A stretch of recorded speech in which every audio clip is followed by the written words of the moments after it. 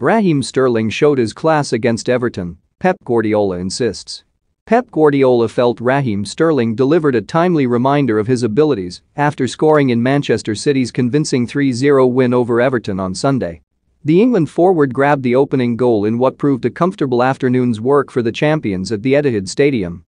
It was the 26-year-old's first strike in the Premier League since August in what has been a frustrating start to the season at club level. Sterling has been unable to command a regular starting spot and, with his contract to expire at the end of next season, there has been speculation about his future. City boss Guardiola said he needed that and in the first half he was an important player.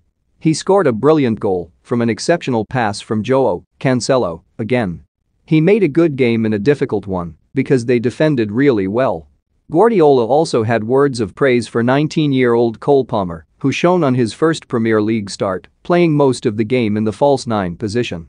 Guardiola said, the striker position is the most difficult, but as the game went on he felt more comfortable.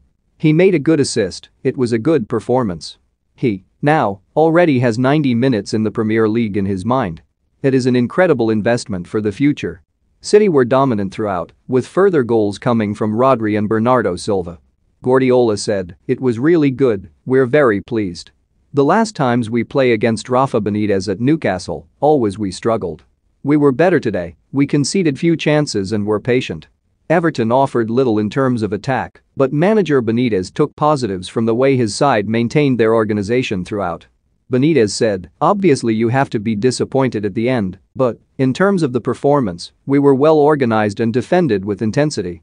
We weren't a threat on the counter that we expected. We had two or three situations where we didn't do enough.